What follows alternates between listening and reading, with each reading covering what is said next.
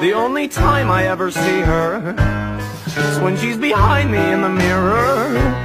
Even from a distance I can hear her I Try to listen but her whispers make my ears hurt